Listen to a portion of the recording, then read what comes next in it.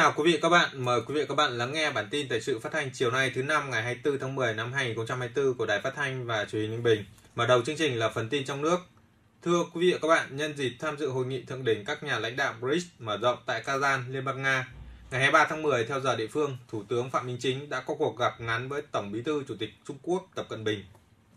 Thủ tướng Phạm Minh Chính hoan nghênh những đóng góp nổi bật của Trung Quốc trong cơ chế BRICS, bày tỏ sẵn sàng phối hợp tích cực với các quốc gia thành viên BRICS và thúc đẩy hơn nữa vai trò của các nước đang phát triển trong xử lý các vấn đề hòa bình và phát triển toàn cầu. Về quan hệ song phương, Thủ tướng đề nghị hai bên tiếp tục tăng cường trao đổi, tiếp xúc cấp cao, thúc đẩy hợp tác thực chất trên các lĩnh vực đi vào chiều sâu, trong đó có kết nối giao thông, nhất là ưu tiên đẩy nhanh triển khai ba tuyến đường sắt khổ tiêu chuẩn nhằm thúc đẩy kết nối hai nền kinh tế, phối hợp tổ chức tốt các hoạt động kỷ niệm 75 năm thiết lập quan hệ ngoại giao và năm giao lưu nhân văn Việt Trung 2025.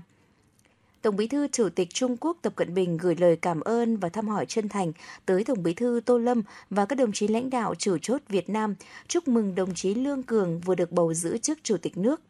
Nhất trí sẵn sàng cùng Việt Nam duy trì trao đổi chiến lược, thúc đẩy và làm sâu sắc hơn nữa hợp tác thực chất, đưa quan hệ đối tác hợp tác chiến lược toàn diện, cộng đồng chia sẻ tương lai Trung Việt có ý nghĩa chiến lược không ngừng đi vào chiều sâu. Tiếp tục chương trình làm việc tại kỳ họp thứ 8, Sáng 24 tháng 10, Quốc hội thảo luận ở hội trường về một số nội dung còn ý kiến khác nhau của dự thảo luật công đoàn sửa đổi. Phiên họp có sự tham dự của đoàn đại biểu Hạ viện Malaysia do Chủ tịch Hạ viện dẫn đầu nhân chuyến thăm chính thức Việt Nam từ ngày 22 đến 25 tháng 10 theo lời mời của Chủ tịch Quốc hội Trần Thanh Mẫn. Tại phiên họp, các đại biểu đã cho ý kiến về việc gia nhập vào hoạt động công đoàn của người lao động là người nước ngoài, việc gia nhập công đoàn của tổ chức người lao động tại doanh nghiệp, bảo đảm tổ chức bộ máy cán bộ công đoàn, bảo đảm cho cán bộ công đoàn. Nhiều đại biểu bày tỏ băn khoăn đối với sự thảo quy định việc đơn vị sử dụng lao động không được đơn phương chấm dứt hợp đồng, sa thải, buộc thôi việc hoặc thuyên chuyển công tác đối với cán bộ công đoàn không chuyên trách nếu không có ý kiến thỏa thuận bằng văn bản của Ban chấp hành công đoàn cơ sở hoặc Ban chấp hành công đoàn cấp trên trực tiếp cơ sở. Các đại biểu cũng cho rằng khoản 3 điều 28 quy định còn chung chung, chưa rõ công đoàn cấp nào chịu trách nhiệm bảo vệ cán bộ công đoàn cơ sở khi bị chấm dứt hợp đồng, nên đề nghị ban soạn thảo làm rõ quy định này. Cũng trong sáng nay, các đại biểu nghe tờ trình và báo cáo thẩm tra về dự án luật sửa đổi bổ sung một số điều của luật bảo hiểm y tế. Nội dung này sẽ được đại biểu Quốc hội thảo luận tại tổ vào chiều nay. Nhằm đáp ứng nhu cầu vận chuyển hàng hóa dịp cuối năm, nhiều cảng biển tiếp tục đầu tư hạ tầng dịch vụ để gia tăng tuyến dịch vụ cũng như tăng sản lượng hàng hóa bốc rỡ. Theo dự báo, sản lượng hàng hóa thông qua cảng biển cả nước năm nay dự kiến có thể đạt mức tăng trưởng 7 đến 9% so với cùng kỳ. Tại khu vực cảng biển ở Hải Phòng, các doanh nghiệp đang tập trung đầu tư hạ tầng để đón tàu có trọng tải lớn hơn thiết kế ra vào cảng. Đối với khu cảng biển Bà Rịa Vũng Tàu, số lượng tàu trọng tải lớn hơn công bố chiếm tỷ trọng ngày càng lớn và các doanh nghiệp cảng biển đã áp dụng công nghệ số, công nghệ thông tin vào hoạt động khai thác. Theo thống kê của Cục Hàng hải Việt Nam, 9 tháng đầu năm, tổng khối lượng hàng hóa thông qua cảng biển ước đạt hơn 640 triệu tấn, tăng 14% so với cùng kỳ. Tiếp theo chương trình là những thông tin quan trọng trong tỉnh. Thưa quý vị và các bạn, hôm nay Bộ Thông tin và Truyền thông phối hợp với Ủy ban dân tỉnh, Liên hiệp các hội khoa học và kỹ thuật Việt Nam tổ chức diễn đàn Chiến lược dữ liệu cho phát triển ứng dụng trí tuệ nhân tạo và thúc đẩy chuyển đổi số tỉnh Ninh Bình. Đồng chí Đoàn Minh Huấn, Ủy viên Trung ương Đảng, Bí thư tỉnh ủy, đồng chí Phan Tâm, Thứ trưởng Bộ Thông tin và Truyền thông, đồng chí Tống Quang Thìn, Ủy viên Ban Thường vụ tỉnh ủy, Phó Chủ tịch Thường trực Ủy ban dân tỉnh, đồng chí Phan Xuân Dũng, Chủ tịch Liên hiệp các hội khoa học và kỹ thuật Việt Nam đồng chủ trì diễn đàn.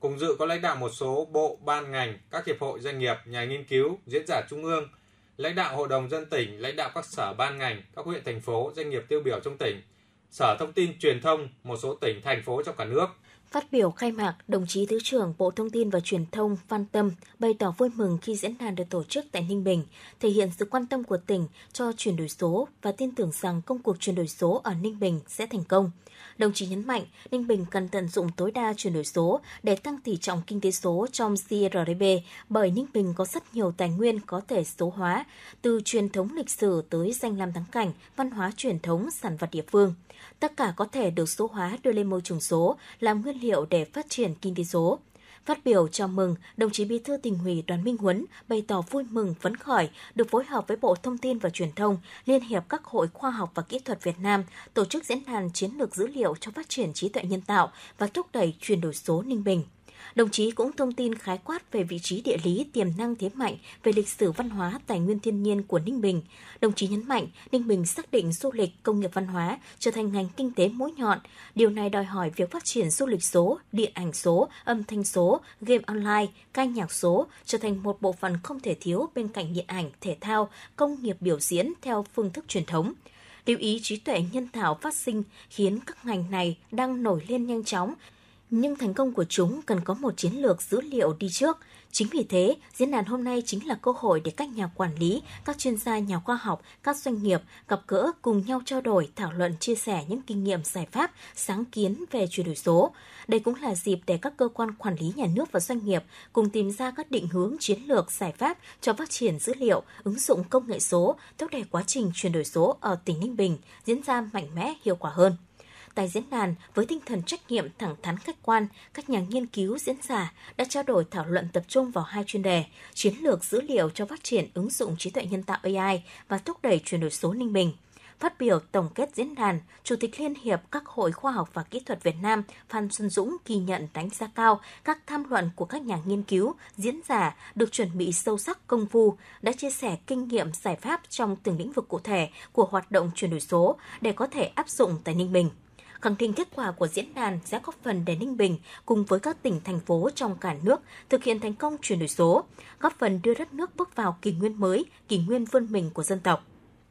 Đài Phát thanh và Truyền hình Ninh Bình sẽ tiếp tục cập nhật diễn biến của diễn đàn tới quý vị và các bạn ở những bản tin tiếp theo.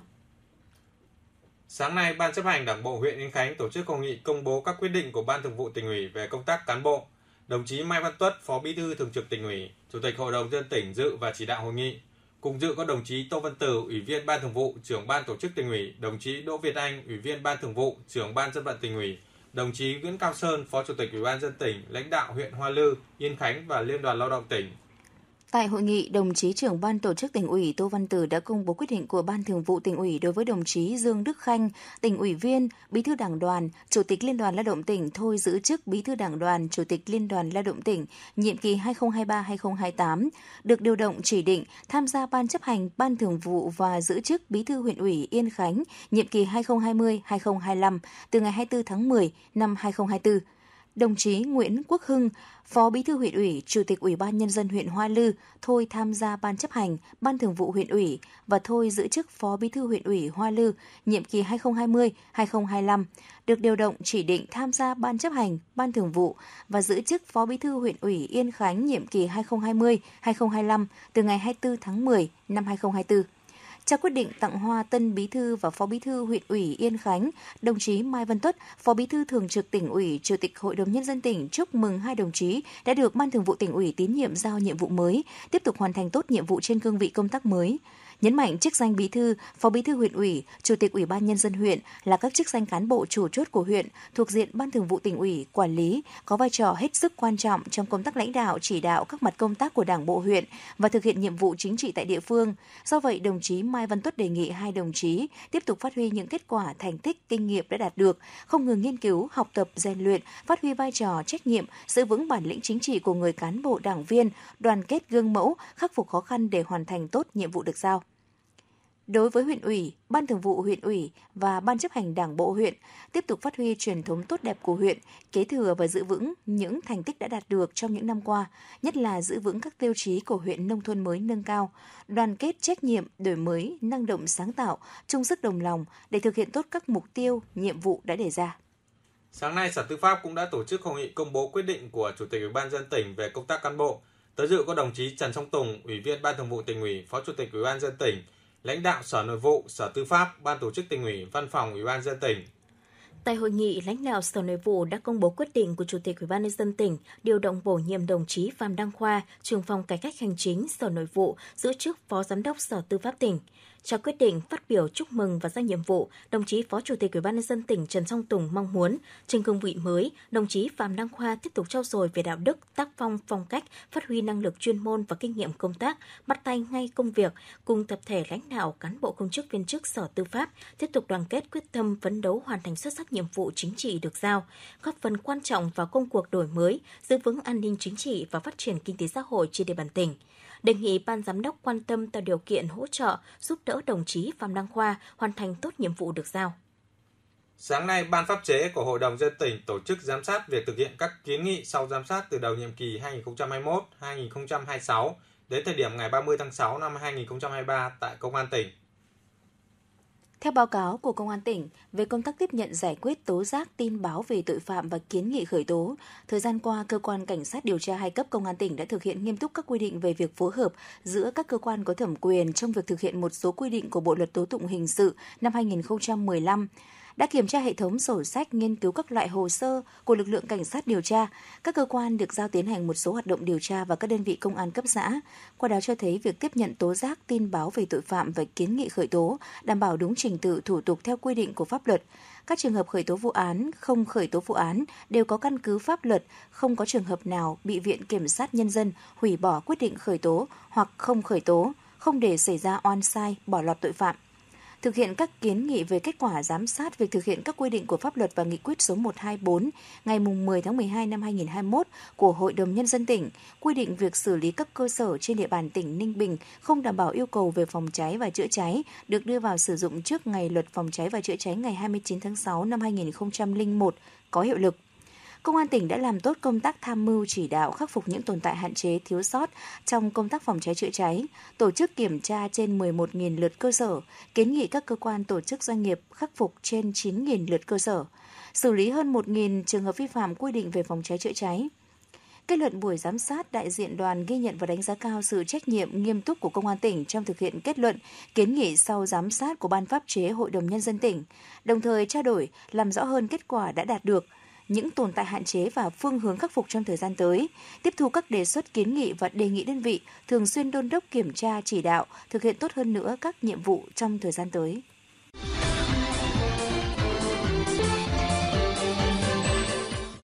Bản tin thời sự xin được tiếp tục với phần tin quốc tế. Ủy ban Quốc gia Dân chủ ước tính năm nay 1,6 triệu cử tri Mỹ ở nước ngoài đủ điều kiện bỏ phiếu tại một trong 7 bang chiến trường – Điều đó có nghĩa là những lá phiếu của người Mỹ ở nước ngoài có thể tác động đáng kể tới cuộc đua chít sao tại các bang chiến trường.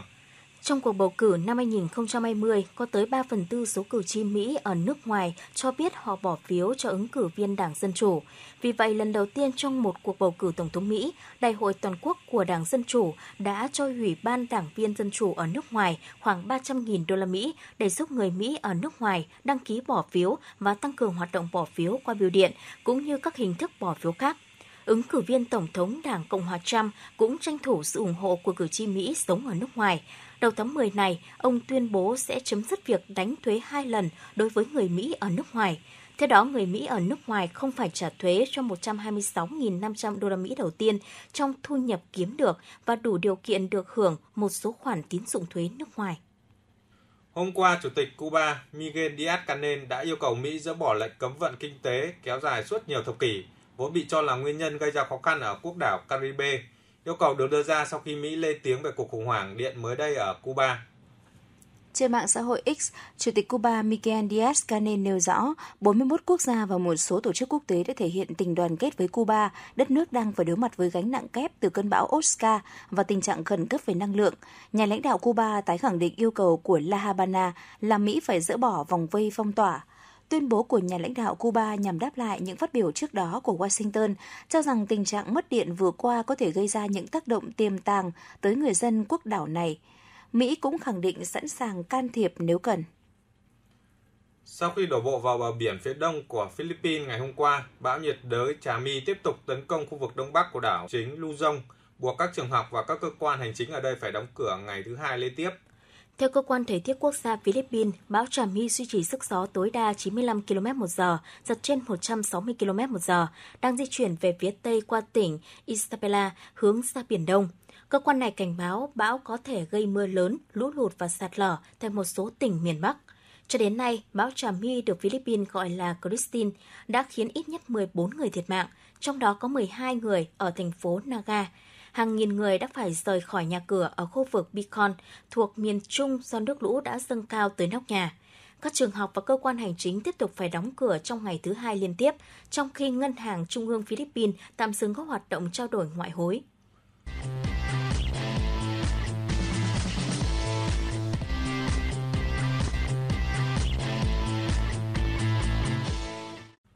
Phần cuối bản tin là những thông tin thể thao đáng chú ý. Sáng nay, Liên đoàn Cầu lông tỉnh phối hợp với Đài Phát thanh và Truyền hình Ninh Bình tổ chức khai mạc giải cầu lông các câu lạc bộ Cúp Phát thanh Truyền hình tỉnh Ninh Bình lần thứ 28 năm 2024.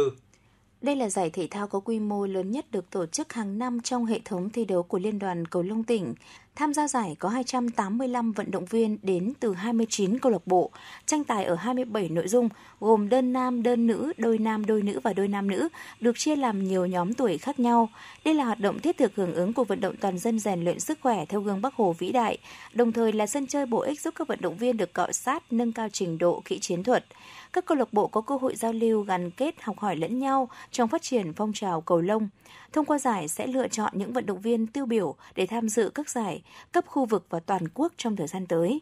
Giải diễn ra trong hai ngày 24 và 25 tháng 10 tại nhà thi đấu thể dục thể thao tỉnh. Mới đây, Ban kỷ luật Liên đoàn bóng đá Việt Nam đã ban hành những quyết định kỷ luật đối với các trường hợp vi phạm tại vòng 4 V-League 2024-2025 theo đó, câu lạc bộ Công an Hà Nội nhận án phạt 2 triệu đồng do có 5 người bị phạt thẻ vàng trong trận hòa 1-1 giữa Hà Nội FC và câu lạc bộ Công an Hà Nội tại vòng 4 V-League 2024-2025.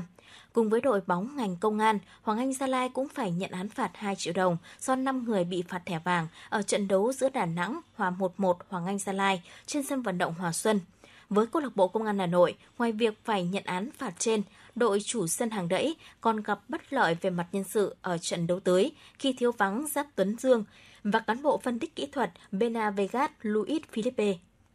Lịch thi đấu vòng 1 giải hạng nhất quốc gia 2024-2025 nhận được sự quan tâm với những đội bóng vừa có sự đầu tư mạnh mẽ trong kỳ chuyển nhượng mùa hè vừa qua. Bình Phước là một trong những cái tên nhận được nhiều sự chú ý với việc ký hợp đồng với Công Phượng. Ngay trong trận gia quân, Công Phượng đã để lại dấu ấn khi ghi bàn thắng duy nhất giúp Bình Phước vượt qua câu lạc bộ trẻ Thành phố Hồ Chí Minh tại vòng loại cúp quốc gia. Công Phượng tiếp tục nhận được sự kỳ vọng khi Bình Phước có chuyến làm khách trên sân của câu lạc bộ Hòa Bình. Câu lạc bộ Hòa Bình những mùa gần đây phong độ không thực sự ổn định nên Công Phượng cùng các đồng đội hoàn toàn có cơ sở để kỳ vọng giành được kết quả tốt. Một đội bóng khác cũng đang được chờ đợi cho trận mở màn tại giải hạng nhất là Ninh Bình. Trong mùa hè vừa qua, Ninh Bình đã chiêu mộ một loạt cái tên chất lượng như Hoàng Đức, Đặng Văn Lâm, Đinh Thanh Bình. Lực lượng của Ninh Bình lúc này thậm chí có thể so sánh với nhiều đội bóng ở V-League nếu không tính ngoại binh. Trong trận đấu mở màn mùa giải tại Cúp Quốc gia, Ninh Bình cũng gây ấn tượng khi vượt qua Thành phố Hồ Chí Minh, một đội bóng thuộc hàng mạnh tại V-League. Thưa quý vị và các bạn, bản tin thời sự phát thanh chiều nay của Đài Phát thanh và Truyền hình Ninh Bình đến đây là hết. Cảm ơn quý vị và các bạn đã đồng hành với chương trình của chúng tôi.